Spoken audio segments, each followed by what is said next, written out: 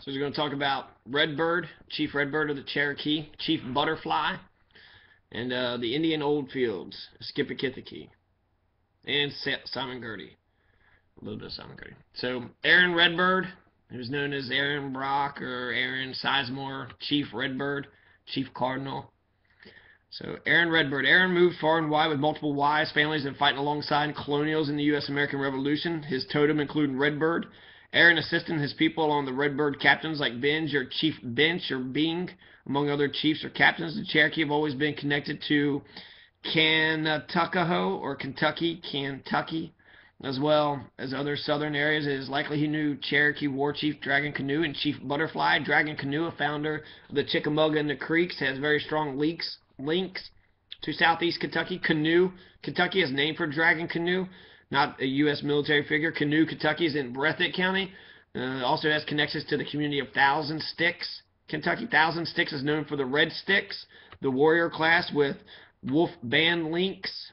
Protected the tribe when possible. The Red Sticks are the Red Lance in Chickamauga and Creek history, as well as CN and allied groups. Thousand Sticks, Kentucky is in Leslie County, between Clay County and Perry County. The Red Sticks, with over a thousand warriors, resided in the area prior to some relocating to Alabama. Chief Butterfly, signer of the Cherokee Treaty of 1798 with Cherokee chiefs like the Prince and the Cherokee with the Keene family in his name and others, is linked to the Kentucky community of Butterfly in Perry County. There's a Butterfly community in Perry County near Hazard, Kentucky. Chief butterfly is related to Cherokee martin families and butterfly bush or butterfly plant or weed and butterfly medicine and the red, yellow, and other butterflies of nature. Insects like the snake doctor, Chief Butterfly, the canoe, and others operate in the same area of Kentucky as Aaron Redbird, Aaron Brock, or Sizemore, and in the same era. Cherokee tribe has always claimed Kentucky as descendants of the Cherokee emperors, Cherokee kings, Cherokee Tuckahoes, King Powhatan, and the Cherokee royal families with links to Char Empire, the Po and Pankey or Ponca, and the ruling native councils. We are their descendants. Our past includes Aaron Redbird, a rel relative of Doublehead and Moytoy himself. The Doublehead Kings lived in Kentucky. See Doublehead uh, Creek in present Clay County, Kentucky, and other Cherokee areas. The history of Kanatuckahoe is our history, Cherokee history, Israel, and is also now. The Red Bird Band of Cherokee. cool. Cool website. So there's that uh, Chief Redbird. He has an entire national park named after him in southeastern Kentucky. Um, also knew Chief Butterfly, who was a, a, signer of the Cherokee Treaty of 1798 with the Cherokee chiefs, chiefs like the Prince. Uh, Simon Girty. Simon Girty was a white person that deflected over to the Indian side. I have um, that that uh, graphic novel actually that I'm reading, which is very good. It's very interesting. I'm about uh, three quarters of the way through it. Um, so I, I, guess I know what's going to happen. So it's kind of hard to read a story when you know the ending is going to be bad. Um, but the very beginning, Simon Girty, his father, Simon Girty Sr., was killed by a British officer in a duel. Killed him, right? Um, George Croghan and the Cumberland County Court burnt Simon Girty Sr.'s house for squatting. Um, and uh, Isaac Shelby first became governor of Kentucky, he had anti-squatter laws or laws that were actually in favor of squatting. If you had a cabin built and you was raising corn crops, you've been there for a long while, then you would actually get to keep your land um, without the landlord taxing you or um, charging you any money. So you have uh, Simon Girty. He was killed by the British officer um, the, his stepfather, John Turner, who uh, Simon Girty Jr. or Sr. and John Turner were like friends. John Turner takes his wife and he's taking care of his kids, but then he's uh, uh, captured by the Indians and he's burnt at the stake and in front of Simon Girty. So Simon Girty gets his father killed, his stepfather was killed, burnt at the stake in front of him. He has to run the gauntlet. Then he becomes adopted by the Seneca Indians. Uh, the Delaware captured Turner, his wife, and his seven kids. And then they uh, dispatch all the kids in different directions. He had several brothers that was with him, George Girty, um, Simon Girty and George Girty, I think was his, his brother's name. He had two brothers. Simon Girty had two brothers uh, that was fighting with him. You know, when he was 23 years old, he was returned back to the whites, so he was with the Seneca Indians for seven years, which is a substantial portion. Then he would fought along with the whites for 14 years, so he did have a kind of a um, checkered past, right? He saw different atrocities. Uh, when he fought against the Shawnee, he thought of them being as the Seneca, and the Seneca and the Shawnee did war against each other, but they had a common enemy. Uh, Simon Girty. So uh, when he was 23 years, went to the Whites. He worked with Dr. John Connolly uh, Land Company and Trader. Um, he helped uh, establish Indian trade, trading towns. Dunmore's War. Uh, was there at Dunmore's War with uh, Simon Kenton. Right. Uh, Jacob Greathouse is a bitch who fucking killed Logan's brother and sister, or her unborn child, or husband, or his kinsman, and his cousin was kidnapped. See, Little Turtles War, Pontiac's Rebellion, Chief Redbird. Uh, Jamestown, Kentucky used to be Jacksonville, Kentucky, so good for Jamestown for changing their shit away from the genocidal maniac into whoever Jamestown is named after. The Cumberland River used to be known as the uh, Shawanese River. Shawanese, Shawnee. Shawanese is another word for Shawnee. So the Cumberland River should be called the Shawnee River. Just like the Chickasaw lands, the uh, uh, Jackson Purchase should be called the Chickasaw lands. Cumberland River is the Shawnee River. English sent smallpox blankets to the Shawnee and the Delaware. They would also shoot the Shawnee just for sport on the Ohio River. The uh, the chief, the the, the Senecas that Girty went to was Chief Kayingwaurto. Kaying Warto, K A Y I N G W A U R T O. Kayingwaurto, Chief Kayingwaurto. The Seneca, they had council fires, and the council fires is where they would sit down and retell their history and their story, where they came from, what they were about, and they would also practice orating passionate speeches around a council fire. Um, and Girty lived with the Seneca for, it says four to eight years, but it said seven in the um, that graphic novel. So, so Simon Girty. Simon Girty had council fires. Um, the uh, Indian Oldfields of Skippakitaki is the last known town of Kentucky. The last known town in Kentucky is um, possibly why Kentucky has its name, Kentucky. Indian Oldfields, the English name, is the site of an Indian village and trading post in Clark County, Kentucky, called a Skippakitaki. The name is Shawnee for the place of Blue Licks. So lower Blue Licks, upper Blue Licks, that's around a Skippakitaki. It's all the same spot where the Shawnee had the Battle of Blue Licks, the worst, you know, battle for the Kentucky settlers. 72 people, uh, the Kentucky settlers had died, including Israel Boone and I think his nephew or his brother or something. Daniel Boone's brother and nephew died in uh, the Battle of Blue Licks. Hugh McGarry, he was a psychopath that had led all of them to their suicidal deaths, their limbing mission. The name is Shawnee for the place of Blue Licks, referring to the salt deposits on Lulbegrud Creek.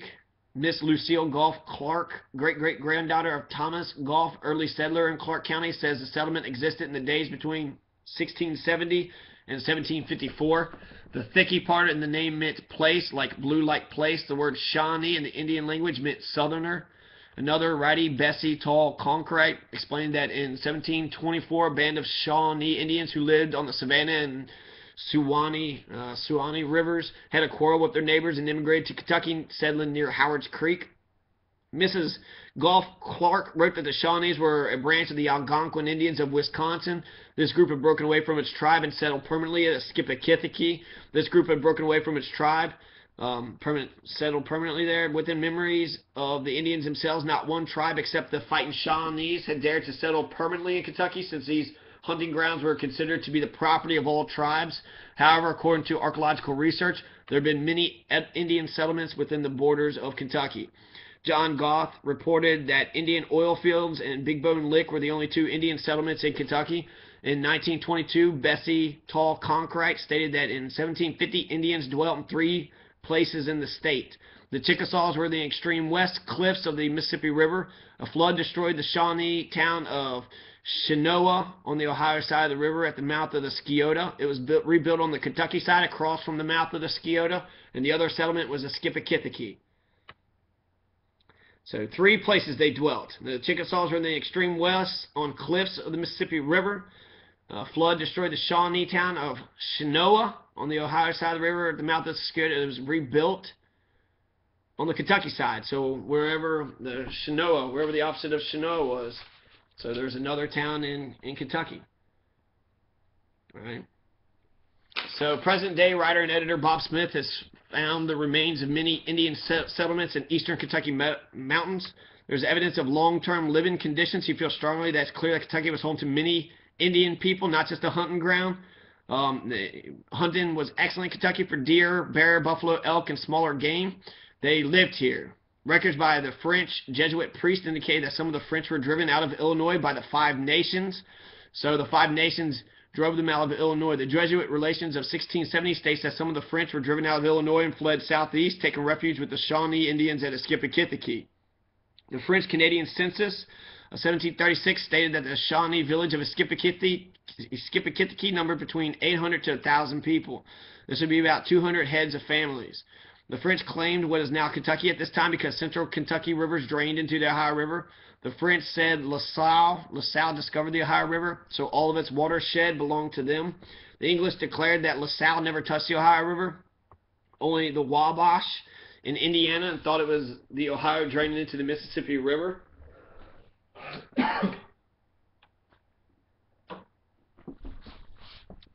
but the Shawnees felt that they were under the jurisdiction of the French.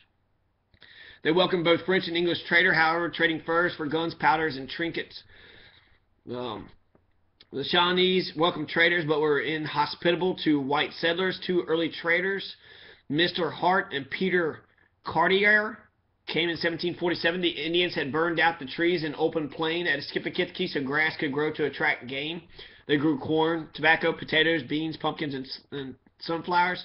So they also cleared the land to raise crops. The Warrior's Trace was an old Indian trail that ran from the north, crossed the Ohio River at the mouth of the Scioto River, and proceeded along the Licking River through what is now Fleming County, Kentucky. The trail ran through Eskippakithiki, with one branch leading down through the Cumberland Gap. The French took this trail to trade in the Carolinas and Georgia. John Goff, in an old newspaper account, states that the Buffalo Trail, known as the Warrior's Path, ran from Blue Licks to Indian Old Fields. There it divided, one branch going toward the valley lands of Red River, the other to the Kentucky River and Cumberland Gap. In 1907, this old path was still plainly discernible in places that could be followed with great accuracy its entire distance. This was the first road in Kentucky. The Eskippakithiki covered approximately 3,500 acres of level prairie-like land between Lulbegrud and Howard's Creeks. All that remains today at the time the newspaper article was written is a huge Indian mound. Not far from its base stood a long log stockade built into a circle. This was the main trading place. Wigwams and cabins were scattered from the trading center to two miles north where the village of Kiddville stands today. The cabins had rounded roofs and reached from Howard's Creek to Lowell Begrud Creek. They didn't build too close to the springs where game came to drink. The Indians like the salty sulfur water. John Goff states that the fort at Indian Old Fields was surrounded by a high fence or a palisade. In the center was a huge locust post guarded by fire where death penalty victims were executed. Goff said that the post was still standing when his father was a boy. So a lot of the artifacts of this town still was there, which is crazy. John's great grandfather was Thomas Goff. His godfather, Elisha, settled on the meadowland at Eskippakithiki. In 1907, there was a burial mound of the Shawnee uh, at the Shawnees at Indian Oldfields, located at the falls of Combs Creek on what was known as the Donahue Pace, owned by place owned by A. H. Anderson. So A. H. Anderson had owned it. Indians were buried by laying them on the ground, covering their bodies with stones and dirt. Upright stones were placed around the body. This gradually became a heap or mound. Two Indian graves were also located on top of the hill, which stood near the road leading from Kiddville Pike to Hollywood Springs. Bessie Conkwright wrote in 1922 that on a high bluff overlooking Howard's Creek near Iron Works Pike, you could see the remains of the old fort and the Goff Mound and Circle. The circle is the remains of the old palisades, the palisades surrounding the town. This enclosed an uh, enclosed an oblong space measuring 200 yards by 180 yards. Charred, sharp pal palisades were dug up repeatedly, showing that Eskippakithiki was burned down. Conkwright says the mound is within the circle on the western edge, overlooking the creek. Um, she presumes it was the entrance to the fort. Years later, this is written in 1922. The mound was opened by Lucien Beckner. He found a succession of hearse, layers of charcoal ashes, and bones one after another. In the center was the charred, charred end of a post. Conkwright says the mound may have accumulated uh, around the stake where victims were burned. So the Shawnee and the Skippy were burning motherfuckers at the stake. Skippy That's where Kentucky's name came from. Kentucky. It's a Shawnee word.